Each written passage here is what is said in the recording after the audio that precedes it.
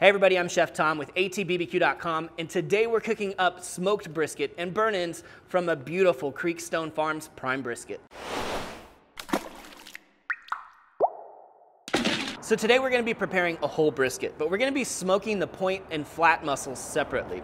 Now a lot of times when we're cooking brisket, we just cook it all together as one big piece of meat, simply because it's easier. But there are some advantages to separating out these two muscles that comprise the whole brisket and smoking them separately. So the flat muscle is where we get our slices out of. It's much more lean than the point muscle, which is where we get our burnt ends. And that means that they cook differently.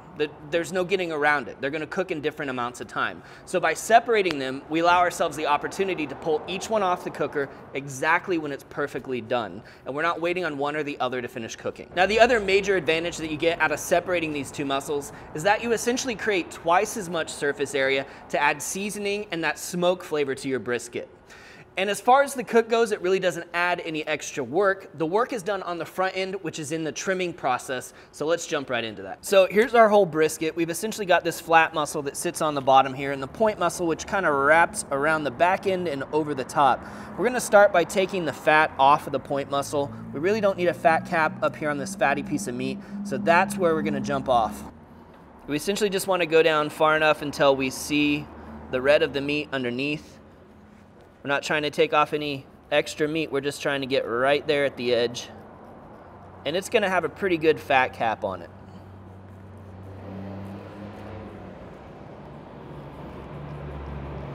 Now I've trimmed enough briskets to know that this point meat's essentially gonna end right about here. So that's kind of my imaginary line that I'm looking at right now. Each one of these briskets is shaped just a little bit differently but I can predict that it'll be in that area. So that's where we're going to stop taking fat off because we do want to leave some on top of that flat meat, which is a little bit more lean.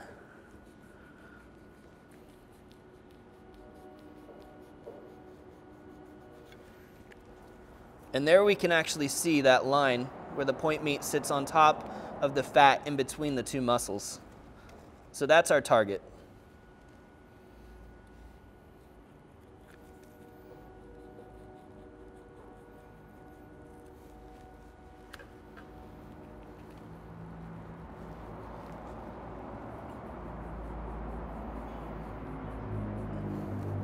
A nice sharp boning knife makes this really a lot easier. Don't try and do this with a chef's knife.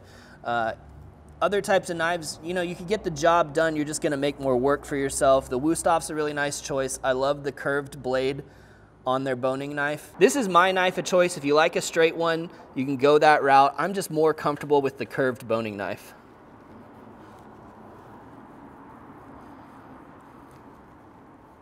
So now we've got most of that fat off the top of the point meat.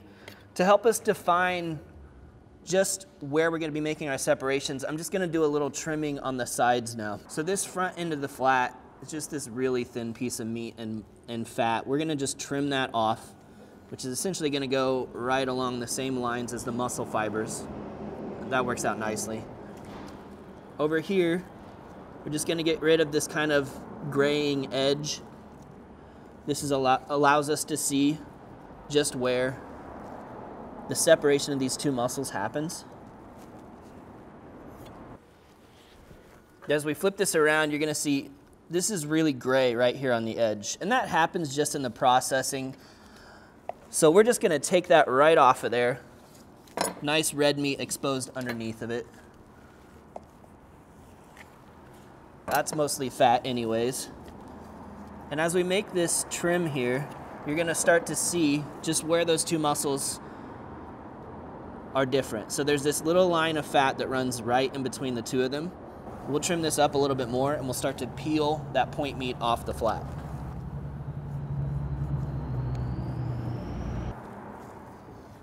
So once we get down to that line, and now I know this is where the two are gonna separate, I'm just gonna make a little cut right here so I can get my fingers underneath the end of this very thin edge of the point muscle. And once you got a hold on that, you can just start making very small cuts to separate these two pieces of meat.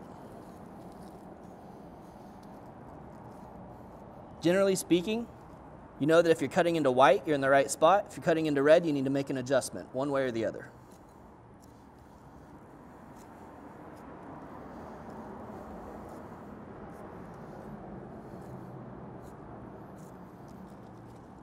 And because this is a natural seam in between these muscles, it wants to come apart right here. So you just have to help it along by very gently slicing with your knife. Go down just a little bit further right there.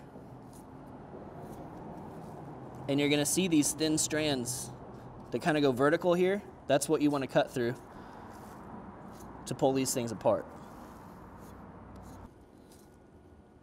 I like to lift up on the point meat and just let gravity do the work. Short, gentle cuts, and it falls away under its own weight.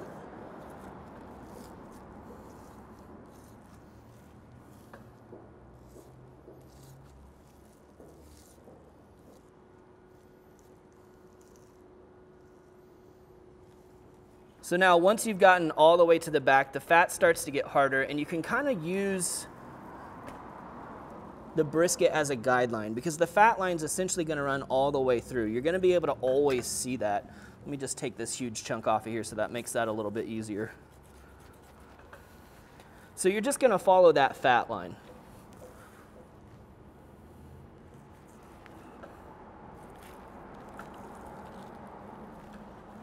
Again, pulling on this helps because it is a natural seam. Like that last cut doesn't even need to be made because it pulled right apart. So now you've got your point muscle, you've got your flat muscle. We just need to trim up the outsides a little bit. We got some big hunks of hard fat we want to get rid of on our point here. A little bit of that same thing going on on the flat here. We're just going to trim this down so we have about a quarter inch of fat on the flat. We don't need any extra fat on the point. So a big old hunk of fat there on the edge of this flat meat, we're just gonna take that straight off. So we're back here where the point and the flat muscles meet. We've got a little bit of that point left just right at the edge there, so we're gonna take that off. And then the rest of this exposed fat on top of the flat meat, we just wanna trim down, like I said, to about a quarter inch.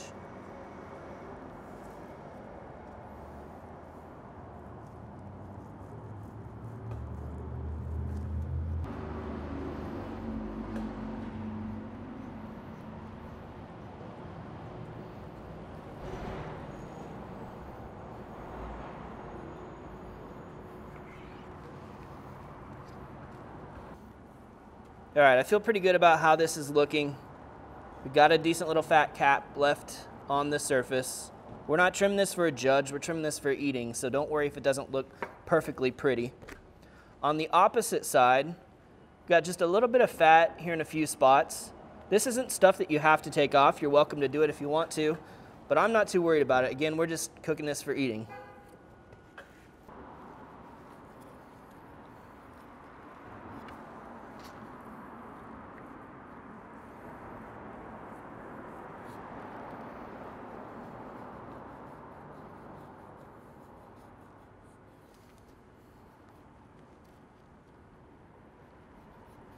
All right, so this is looking really nice now. But one thing I want you to notice is how flat most of this is, and it's kind of got this round hump on the end. So in order for this to cook evenly, we're gonna go ahead and just butterfly this out. So you wanna take your knife, press it flat and parallel to your cutting board, and you're just gonna start to slice back, peel this muscle over. Obviously you don't wanna go all the way through. So cut slowly and intentionally until that folds out and it's all the same thickness. That's a good looking point. Now before we move on to the seasoning process, I just want to show you these two muscles next to each other so you can understand just how much fat runs through the point and how lean this flat meat is. You'll also notice that this is about twice the thickness of the point. But because of the fat content in here, they're gonna cook in roughly the same amount of time. So now we're gonna move on to injecting and seasoning the brisket. But before we do that, let me just say, don't throw away all that scrap that you trimmed off the whole brisket because that's quality fat and little bits of meat that you can throw into your grind for burgers or sausage. It's good stuff. With that said, let's move on to building this injection. So for the base of our injection, we're using one cup of beef stock. And the idea here is to add extra moisture and seasoning to the inside of our leaner piece of meat. And to season this injection, we're gonna add a tablespoon of Plowboys bovine bold. This is the same stuff you'll see on the surface of the brisket. We're also gonna add a tablespoon of smoke on wheels bootleg barbecue sauce. You'll see that on the brisket. Burn ends later. And then we're gonna add a little smoky spiciness with some Filet Volcano hot sauce. Do as little or as much of this as you like. So get it loaded up in our shaker here.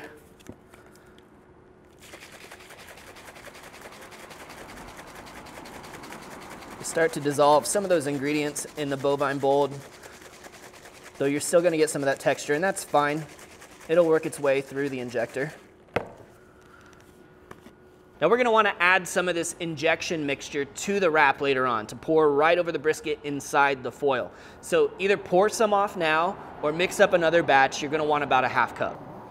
And we'll load that into our pistol grip injector, which is just my favorite tool for this job.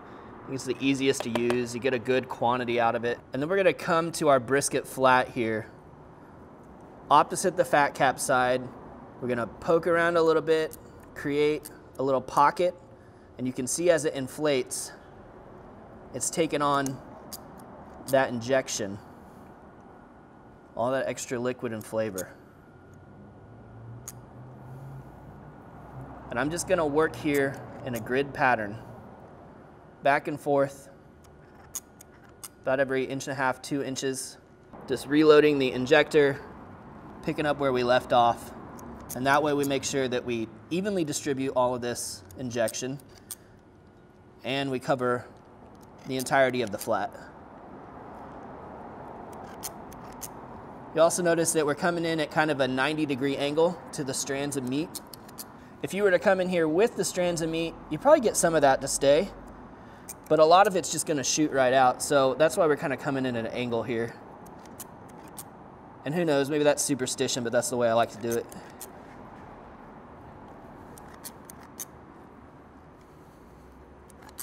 Now I typically only will inject the flat because it's leaner than the point. The point's got a lot of fat. It really doesn't need any help. So at this point, we're gonna move on to seasoning. So sticking with our flat here, I'm just gonna make sure that we've got a little bit of moisture all over the surface of this to act as a binder so our rub sticks really well to the surface. Then we'll start by seasoning the fat cap side. We're gonna hit this with a couple different rubs today. We're gonna start off with our Plowboys Bovine Bold, which you saw in the injection. This is a little bit finer rub, but it's a fantastic beef and brisket rub. A little bit of sweetness to it, kind of a barbecue flavored profile. And I love this as a base. We'll put it down first because it's a little bit finer, but I wanna add some extra texture to this thing. So we're gonna go with our Cattleman's Grill Trail Dust, which is a little bit chunkier. You see this is really gonna add to that bark. And this is also a bit more savory rub, so we're kind of getting the best of both worlds here. A little bit of that barbecue sweetness and a lot of savory flavors, garlic, salt, pepper, some herbs in there. And before we flip this over, let's just go ahead and hit the sides as well. Starting with that bovine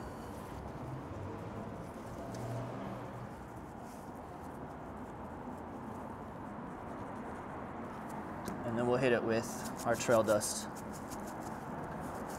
And press that in there to make sure it sticks.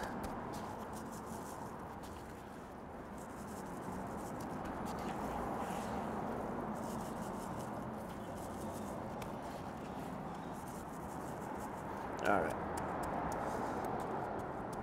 So once I'm sure that that's all gonna stick to it, we can go ahead and flip this over. And we're gonna season this side second because this is the side that I want up, facing up when we get it into the grill. We're gonna put that fat cap down, give us a little thermal barrier from the heat.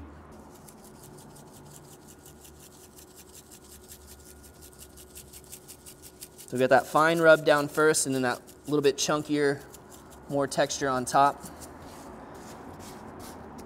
Make sure you help that stick to the meat. and we're going to move on to the point.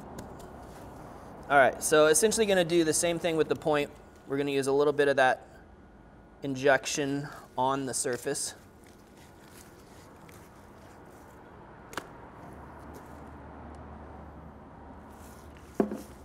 And we'll give this the same treatment, starting with our bovine.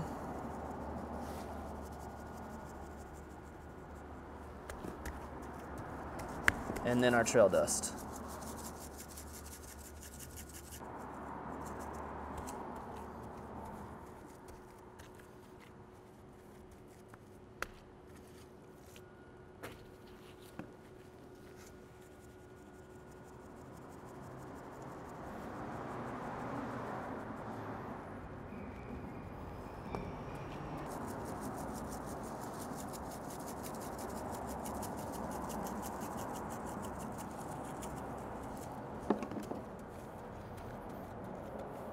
All right, these are ready to go in the smoker.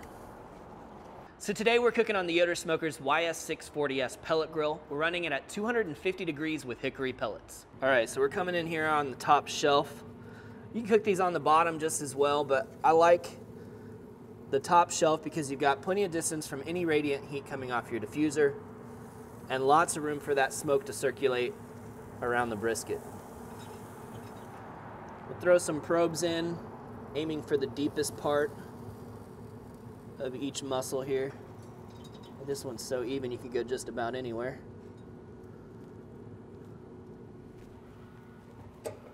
So we close up the grill, we let them smoke. We don't need to peek at them. We don't need to touch them for hours. They're probably gonna smoke for about six hours before they're ready to wrap in foil. Now, full transparency, we got here super early today. Put on some other briskets on a separate cooker and when we come back, that's what you're gonna be looking at. Well, our brisket's been on for about six and a half hours now. The temperatures are reading about 165 to 175 internal, which isn't super relevant at this point. What we're looking for is visually, we wanna see a really nice bark formed on the outside, and we're looking for a dark color all the way around. So we've got some great bark on the outside of our brisket here. We're seeing some fat pooling on the surface, which is also a really good sign. Same thing with our flat muscle over here. So we're ready to pull these off and wrap them in foil.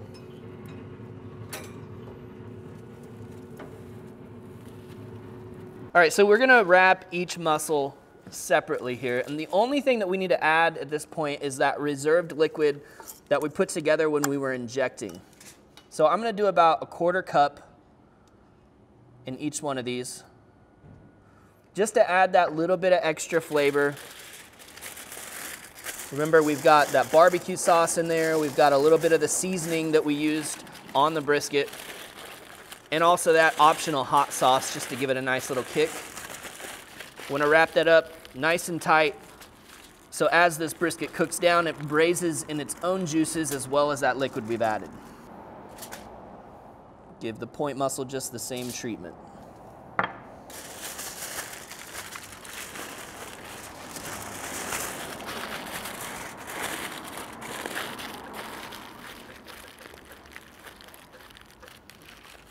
All right, so right back onto the cooker where they started out.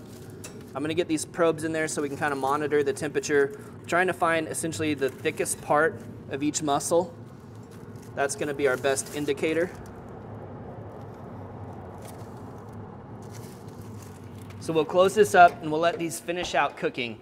Uh, we're looking for a finishing internal temperature around 205 degrees, but really it's gonna be about probe tenderness, so we'll get there in a few hours. We're about eight hours into this cook and our briskets are moving right along. They've crossed that 205 degree threshold, so we wanna probe these now and check for tenderness.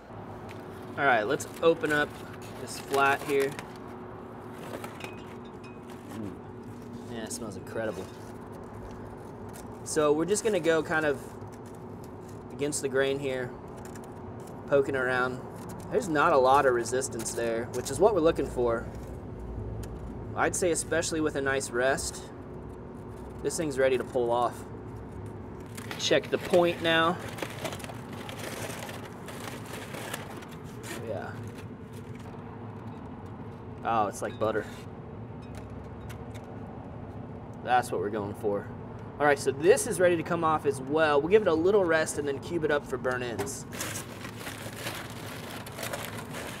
Now we get a lot of questions about resting your brisket. So generally what I do here is I'm gonna leave them wrapped in the foil. I'm just gonna let them rest and sit out at room temperature probably for an hour or so. I mean, they can hold their heat that long. It's not like you're gonna be slicing into cold brisket. The idea here, though, is for all of the juices to redistribute throughout this piece of meat. Because essentially what happens when you put something over a heat source, a piece of meat, all those juices want to run to the center. And they need some time to kind of relax. That way you get the same juicy bite out of the edge of the brisket as you do in the dead center. Now you don't have to go a full hour. 30 minutes will be plenty of time for us to let our point rest before we cube it up. We're gonna toss it in some sauce and get it back on the grill to really tack up that sauce for the burnt ends. If you need to rest this for even longer, but you don't wanna worry about losing your heat, just wrap that foil in a towel, throw it into a cooler, and it's gonna hold its heat for hours. All right, the point meat is rested. So we're gonna get this cubed and sauced so we can finish it up on the grill. I'm just gonna take my brisket slicer here. We're gonna cut these into bite-sized cubes.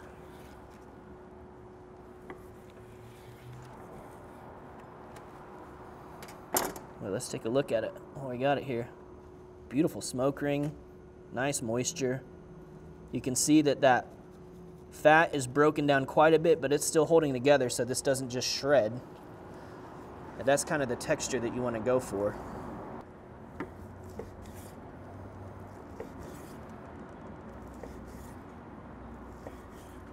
All right, now to finish this off, we're just gonna put it back into the foil. We're gonna leave it open for this end portion here. Want to get get it run through those juices as well as hitting this with a little bit of sauce that's to tack up when we put this back onto the grill. And for the sauce, we're to be using the same stuff that we put into our injection earlier, the Smoke on Wheels Kansas City bootleg. We're not going to douse it, just enough to really give a little coating on the surface.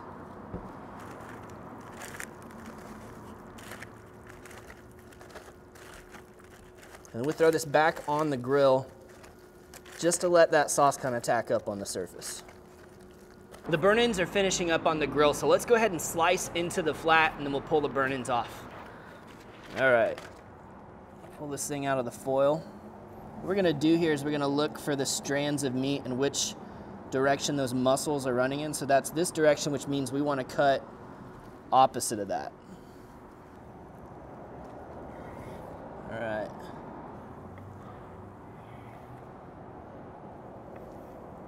All right, let's check this out. Ooh, baby. That's a sweet little dangle. Give it the tug test. Pops right apart. Great texture to it still. Plenty tender. Ooh.